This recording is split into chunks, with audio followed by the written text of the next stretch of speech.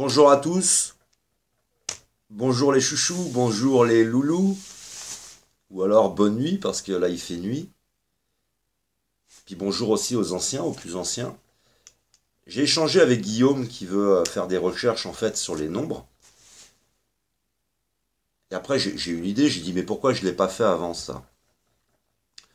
Je voudrais redemander à tous ceux qui veulent m'aider, c'est à essayer de regrouper sur cette seule vidéo tout ce que vous m'aviez déjà partagé. Je pense qu'il suffit simplement des fois de retourner dans vos commentaires, faire un copier-coller, venir les remettre ici. On fera après peut-être, moi je le ferai, un, parce que c'est vraiment intéressant, je ferai un, bilan un peu de tout ce que vous avez emmené, je prendrai des notes, je ne le fais pas d'habitude mais là je peux le faire, ou à moins que, il y ait quelqu'un d'entre vous qui a envie de le faire, vous avez envie de vous lancer, faire une vidéo, on n'est pas obligé de vous voir, vous pouvez mettre une caméra un peu au-dessus, euh, vous bricoler quelque chose, vous montrer des schémas, vous pouvez faire un montage, est-ce que quelqu'un aurait envie de faire cette vidéo? Sinon, je la ferais, mais ça serait super si quelqu'un la faisait.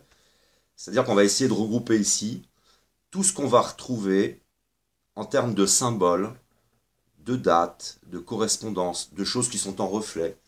Là, je vais un tout petit peu développer pour donner le, thème un petit peu de, de ce que je veux faire sur les gilets jaunes. Tout d'abord, on sait qu'on est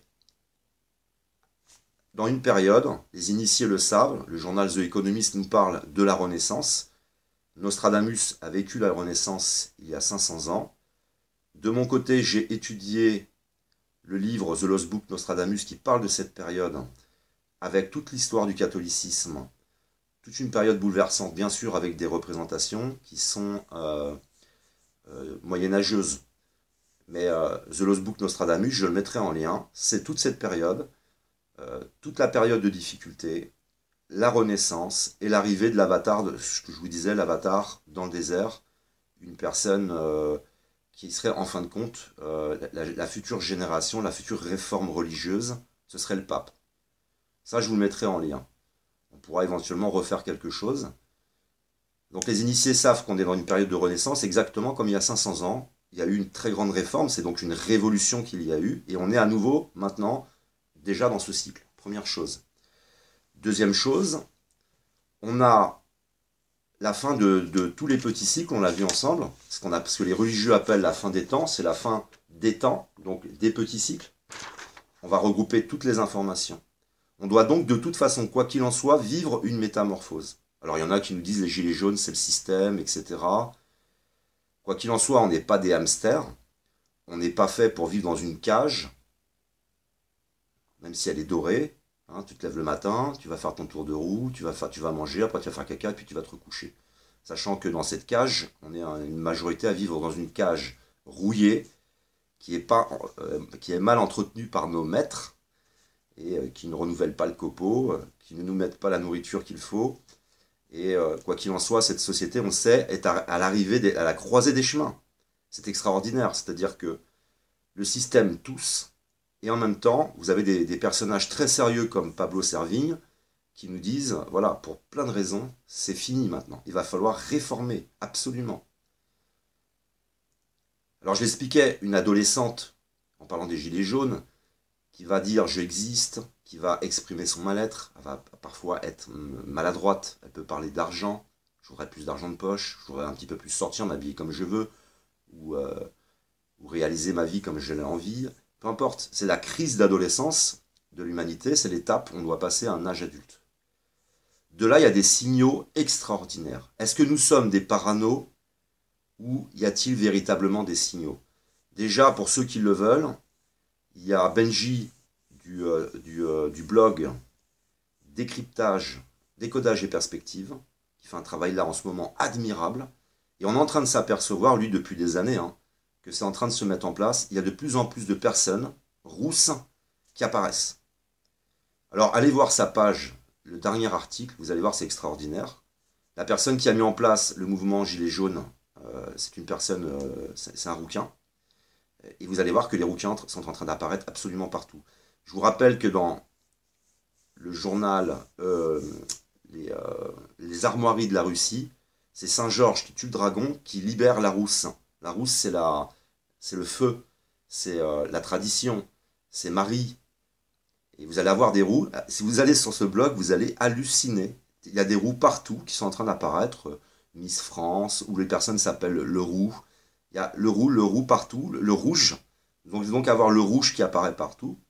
Et puis vous allez avoir toutes sortes de personnes qui vont se mettre en fin de compte à s'aligner sur la matrice. Alors je vais m'expliquer. Je vais prendre un exemple qui est connu. Vous n'allez pas me dire quand même que Dieudonné, Dieudonné est euh, comment dire, un type qui travaille pour les élites. Il travaille pas pour les Illuminati, la franc-maçonnerie, ou euh, je sais pas moi, les, euh, ceux qui tiennent le journal The Economist, la famille Rothschild. Rien à voir lui. Et eh ben, regardez, si vous suivez son programme, il va, il va faire un, un, comment dire, un spectacle qui s'appelle Émancipation. La rousse, c'est le processus d'individuation, c'est l'émancipation, c'est l'éveil de la conscience. Il va euh, créer un cercueil qui est une chrysalide. La chrysalide, c'est le processus d'individuation. Il, a, fait un, prochain spectacle qui va être euh, la vérité. La vérité, c'est l'apocalypse. donc on a la période des fins des temps, on a la période d'apocalypse, donc avec tous les dévoilements et toutes les vérités. Là, il y a Benji, par exemple, qui est en train de, sur le site des, codages et perspectives, je répète, quand vous y allez, ce n'est pas un blog de rencontre, euh, ce n'est pas un blog juste pour échanger, c'est un, blog de recherche, comme le, petit groupe que veut former euh, Guillaume. Je, l'ai motivé, hein, parce qu'il m'en parlait, je lui partage avec les autres, parce que je suis sûr que tu vas découvrir des choses, et tu peux rassembler un pulse. Et eh ben, décodage et perspectives, c'est la même chose, vous pouvez y aller quand des fois ça correspond. Et je voudrais donc ici réunir tout ce qui est en lien avec les gilets jaunes. Parce que on va avoir deux choses qui vont s'opposer, c'est un pouvoir pyramidal et un pouvoir horizontal. Les gilets jaunes sont horizontales. Il y a des personnes qui disent oui, c'est pas bien, ils sont désorganisés. Non, c'est le peuple.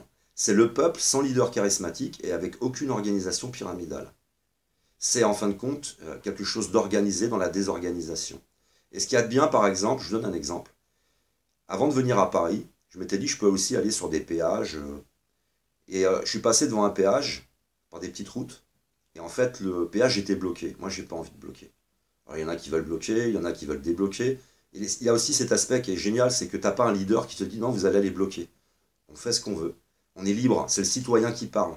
Et c'est ça, c'est vraiment le reflet de la métamorphose vers laquelle on doit aller. La métamorphose vers laquelle on doit aller, c'est une société pyramidale, euh, horizontale, et avec le ternaire. Et c'est du ternaire, ça on commence à s'émanciper. C'est la rébellion. Le, premier départ du processus d'individuation, c'est la révolte, c'est la révolution, c'est euh, s'attaquer à l'autorité. En face, on a euh, vraiment le message de la révolution, c'est Macron, le monarque, l'Emmanuel, celui qui représente toute une organisation qu'on appelle, euh, les religieux en tout cas appellent Antéchrist, c'est-à-dire avec, le Vatican qui a caché le processus d'individuation, donc qui a caché la rousse, qui a caché le feu, qui a caché le rouge, qui va là réapparaître, et ça forme euh, l'antéchrist ou l'antichrist, et qui doivent nous emmener dans le nouveau monde. le monde euh, hyper matérialiste, hein, start-up, etc., monde financier, où il y a des gens qui réussissent et il y a des gens qui ne sont rien. Et là, vous voyez la révolution. il fallait un monarque pour une révolution. Et bien le monarque est là. Alors le jaune, c'est l'éveil, on l'a vu, c'est les bandes réfléchissantes, c'est le Christ solaire, c'est le soleil. Le soleil, ça éclaire, à l'inverse du trou noir. Je vous ai dit, hein, ce qui est en haut est comme ce qui est en bas. Et les élites, c'est des trous noirs. Ce sont ceux qui absorbent la lumière, qui absorbent l'énergie, qui absorbent la matière, qui absorbent l'information, qui jouent même avec notre notion du temps, qui font de nous des hamsters dans, des cages. Les, hamsters vivent leur vie euh, dans la nature, en pleine liberté. Ils vivent certes de danger, mais ils sont heureux, quoi. On n'est pas fait pour vivre dans des cages. Donc le soleil, c'est quelque chose qui est clair. Le soleil ne veut pas que tu le regardes. Si tu le regardes, tu te brûles. Le soleil, il te montre du doigt la lune, il éclaire la lune, et toi, tu regardes le doigt. Et ben c'est ça les gilets jaunes. C'est vraiment euh, qu'ils veulent nous montrer quelque chose. Ça transpire quelque chose. Il y a donc énormément de symbolisme autour des, euh, des gilets jaunes qui correspond à cette période. Parce que vous vous rendez compte, il y a des gens qui disent que c'est les élites. C'est comme si vous disiez les élites contrôlent la matrice, contrôlent l'univers ce sont euh, des choses qui, euh, qui se représentent, c'est des fins de cycle. Exactement comme une, adolescente, on voudrait, on dirait, on peut contrôler l'adolescente de, de, son adolescence au passage à l'âge adulte. Cette crise, tu ne peux pas la contrôler. Tu as des crises tout au long de ta vie, c'est des crises qui viennent, et l'humanité tout entière vit cette métamorphose. Donc on pourrait regrouper ici, je vous le demande à nouveau, je suis désolé pour ceux qui l'ont déjà fait. Pour moi, ce serait trop de travail d'aller sur toutes les vidéos retrouver. Vous savez, vous avez en tête des choses, n'hésitez pas à les partager. Mais vous verrez qu'il va y avoir des messages. Si vous allez sur décodage et perspective, c'est extraordinaire. Ça veut dire que la matrice, elle parle. Parce que je suis persuadé que Dieudo, c'est pas un mec qui travaille pour les élites, ça n'a rien à voir. Alors comme en effet, on en a parlé dans une précédente vidéo, euh, on va parler du nœud borroméen. Il y a l'imaginaire, notre structure psychique, elle est faite d'un imaginaire, d'un réel et du symbolique. Et ça veut dire qu'on va exprimer tous les jours, les gens vont exprimer des choses tous les jours, parce qu'ils ressentent la métamorphose, ils ressentent le changement. Et puis ils vont se mettre à créer. Et dans ce qu'ils vont créer, ça va être en rapport en fait avec toute la métamorphose et toutes les découvertes qu'on va faire. Comme par exemple cette histoire de Noël avec le sapin de Noël et ses firottes, la cheminée avec euh, le canal en fin de compte avec les chakras, puis emmener la connaissance. Le, comment dire, la crèche, sa représentation de la double naissance. Ça y est, fait ta double naissance, c'est la naissance. Noël qui veut dire nouveau. Il va y avoir donc y avoir plein de découvertes, plein de découvertes. Ça va être extraordinaire. Et ce que je voudrais regrouper ici, c'est toutes les informations possibles sur tout ce que peut véhiculer comme symbole euh, les gilets jaunes, mais à la fois du symbolique, à la fois des choses très techniques avec les cycles. Vous voyez, vraiment euh, tout ce qu'on peut euh, regrouper, ce qui peut permettre aussi,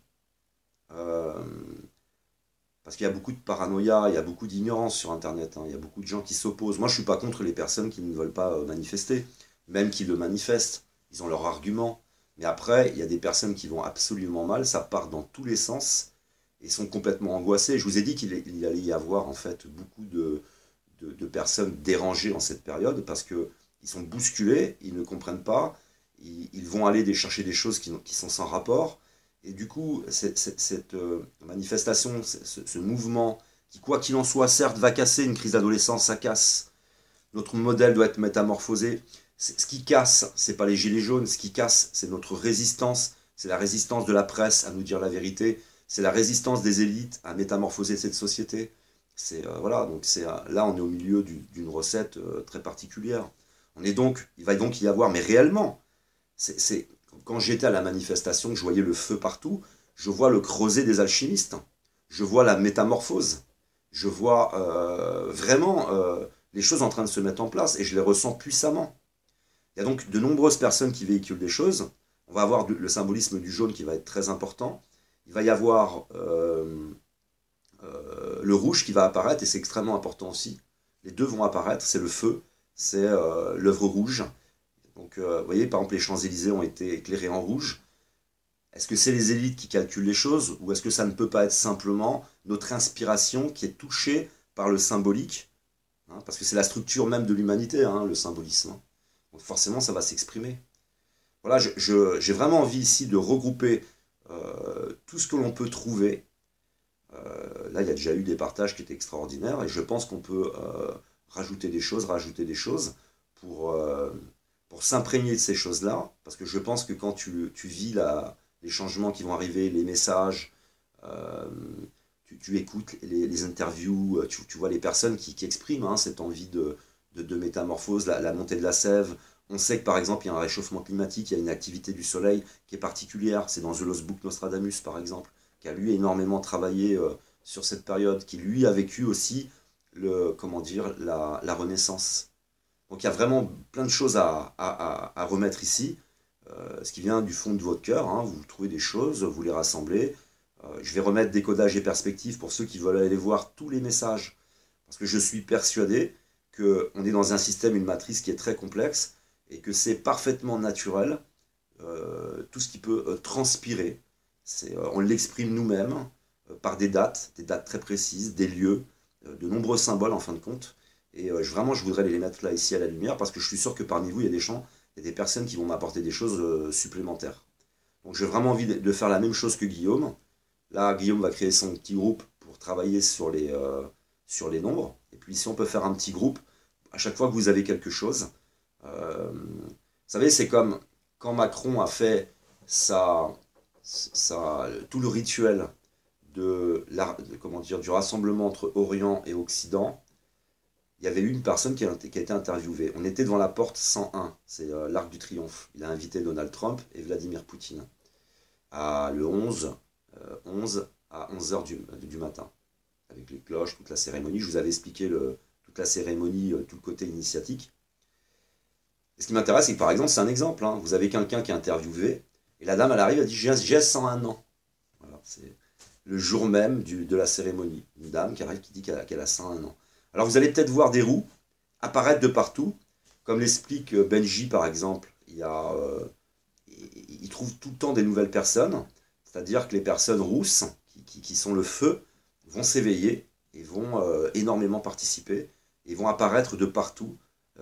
là, il a, il a, montré que dans le cinéma, et en plus, c'est avec des messages c'est des chansons qui vont avoir des titres, par exemple, qui sortent, c'est des personnes rousses, et qui sortent des titres qui sont en rapport avec l'émancipation, la révolte, la, comment dire, euh, toute cette période-là. C'est extraordinaire, extraordinaire. Celui qui a la volonté d'aller cliquer sur euh, décodage et perspective, de regarder le dernier article où ils font un travail de recherche sur l'actualité, faites bien le, regardez-le bien, et vous allez voir qu'il y a vraiment quelque chose qui est en train de se passer qui est extraordinaire on est en train de vivre quelque chose d'extraordinaire. Donc pour moi, c'est euh, déjà une révélation, c'est déjà des dévoilements. Pour d'autres, ceux qui ne pousseront pas diraient oui, euh, ce machin, c'est le hasard. Je pense que pour tous ceux qui chercheront sérieusement, euh, qui iront au bout des choses, vous trouverez des choses, je pense en tous les cas, extraordinaires. Avec bien sûr le, simple symbolisme, le fait que ce soit des travailleurs. Donc ce sont des personnes qui sont, qui sont euh, comment dire, euh, qui sont endurcis à la peine. Alors je dis ça parce que j'ai partagé avec quelqu'un euh, la chanson que le chant que je chantais quand j'étais à l'armée. Et le chant que je chantais à l'armée est complètement en rapport avec c'est les hussards de Bercheny. Et c'est la cavalerie. Et en fait j'ai changé tout à l'heure. Puis je me suis dit tiens je vais aller voir quand même et eh ben ils ont un drapeau qui est jaune et rouge. Et vous allez avoir comme ça plein de, de ou de coïncidences ou de choses qui vont transpirer. Et puis, si, dans l'actualité, il vient quelque chose, et eh ben vous me le mettez. Une nouvelle personne qui apparaît, par exemple, sur les six personnes qui ont rencontré le, gouvernement pour les Gilets jaunes, si je dis pas de bêtises, je crois que c'est six, il y en avait deux, c'était des, personnes rousses. La, femme, euh, je crois, hein, qui s'est suicidée, euh, la femme qui avait mis en place le mouvement avec la police, euh, c'était une rousse. Et vous allez avoir comme ça l'apparition du rouge, des rousses, et puis du soleil, de l'éclairage, de, tout ce qu'il y a d'extraordinaire en fait dans, dans, ces gilets jaunes, qui sont donc horizontales, qui sont unies. Hein, il y a vraiment une union qui est, extraordinaire. Quand tu y vas, je ne vais pas dire que tout le monde est parfait, mais les gens viennent parler avec toi, tu discutes avec tout le monde, les gens t'embrassent, il y a, il y a, une ambiance qui est vraiment extraordinaire et que je n'ai pas toujours connue en tous les cas euh, lors des manifestations. Donc voilà, je pense que ce serait euh, vraiment sympa qu'on regroupe tout ici, puisque de temps en temps, je vous postais une vidéo, vous me postez quelque chose, du coup, c'est un peu éparpillé partout. Et puis, si on pouvait, euh, comment dire, euh, euh, n'hésitez pas non plus pour ceux qui s'en sentent capables et qui en ont envie, ont le temps, de, développer aussi dans, les, dans, vos commentaires pour faire les liens entre les choses. parce que on va aussi retrouver dans l'histoire des, des, choses. Qu'est-ce qui s'est passé durant, par exemple, la, la Renaissance il y a 500 ans? Comment s'est exprimée cette renaissance? Si ça se trouve, on va retrouver énormément de similitudes. Et puis en plus, il y a 500 ans, c'était la réforme de la religion. Et là, on sait que pendant la traversée du désert, il y aura une réforme de la religion. Ici, je ne dis pas que ça va être rose. Je ne dis pas que ça va être magnifique. Parce que notre modèle, euh, de toute façon, est un aspirateur de matière et d'énergie. Donc euh, une réforme, c'est, euh, ce serait, quelque chose de, quand même de, violent. Et sachant que dans mes recherches, avec les travaux de, Michel Notre-Dame de Nostradamus, parce que été aussi dans les écrits, il l'a écrit dans un quatrain dans 500 ans, celui qui n'était qu'un, objet en fin de compte de décoration va, va, reprendre de la puissance, donc il parle de la foi qui va revenir. Je vous remettrai ce quatrain-là, je vais le retrouver, il faut que je le cherche et je vais le retrouver. Et puis, il y a, euh, dans les 500 ans, on y est. Et puis, euh, surtout, il y aura même jusqu'à une réimmigration. Ça veut dire qu'il va y avoir un ralentissement complet du modèle et, euh, des personnes qui vont réimmigrer. Pas tout le monde, hein. il va rester, d'après mes recherches, beaucoup de personnes qui vont rester. Mais après, on ne sera plus un, un, modèle dans la suractivité. Il y aura un baby boom quand tout ça sera terminé. Mais ça va bousculer. Je sais que ça va bousculer. Après, on a un certain nombre aussi à être honnête, ras-le-bol de, dépouiller l'Afrique, ras-le-bol de dépouiller le Moyen-Orient, de créer des guerres partout. Euh, parce qu'en fin de compte, on a toujours été en guerre, c'est juste nous ici qui avons été en paix. Et euh, je pense qu'en fin de compte, la, la violence par laquelle on va passer, c'est le reflet de notre propre violence, c'est le reflet de notre propre ignorance, parce que si on avait reçu un enseignement il y a 2000 ans par le Vatican qui a combattu en fait la science, la connaissance et le processus d'individuation, il a changé le cours de l'histoire. Ce qui fait que ce, passage-là euh, de fin des cycles, de fin des temps, d'apocalypse, euh, il va être beaucoup plus dur puisque les gens n'accompagnent pas le mouvement. Tout le monde va résister contre le mouvement. Alors les personnes, les hamsters qui sont dans des cages dorées, vont résister, résister pour garder euh, cette façon, cette appréhension qu'ils ont de la vie, cette façon de vivre. Ils vont essayer de la garder. Mais ça va résister, vous allez voir que ça va, ça va bouger. Ça veut dire que pour moi, même si demain les Gilets jaunes ça s'arrêtait, ce, serait d'autres mouvements. C'est de toute façon le marqueur temporel euh, de l'entrée dans le désert. On est en marche avec Emmanuel Macron, euh, on entre avec lui en marche dans le désert, dans la métamorphose, dans la chrysalide. Et dans la chrysalide, on l'a vu, par exemple, traversée du désert, tous les anciens euh, disparaissent dans le désert. c'est vraiment une métamorphose qui est, puissante. Hein. Donc je laisse imaginer que ça ne peut, ça, c'est pas possible que ça ne puisse pas s'exprimer dans le réel et dans la partie matérielle des choses. Et avec aussi ce que j'avais expliqué, c'est le rôle de la Russie, qui à un moment donné, euh, il restera plus qu'elle à cause de toutes les résistances pour nous délivrer du mal. Donc, euh, comment ça va se passer tout ça? Quoi qu'il en soit, voilà, je voulais vraiment ici regrouper tout ce qui vous passe par la tête. N'hésitez pas, ça va m'aider, ça va me faire plaisir. Et puis, euh, on verra par la suite. Si quelqu'un est volontaire après pour faire une vidéo, je la télécharge, sauf si vous avez énormément d'abonnés, hein, j'en parlerai, je ferai un coup de pub. Ou sinon, je ferai comme avec Guillaume. Euh, pour ceux qui veulent euh, créer un groupe, par exemple, autour de ça même, ben, pas, de problème, je vous refais un coup de pub. Ou alors vous faites une vidéo et je la replombe ici. on échange, on verra bien ce qu'on fait. Il hein. n'y a pas de souci. mais j'aimerais bien qu'on fasse un très gros travail sur les gilets jaunes. Je vous remercie de m'avoir écouté. Je vous aime, que l'amour, l'art et l'autre soient avec vous.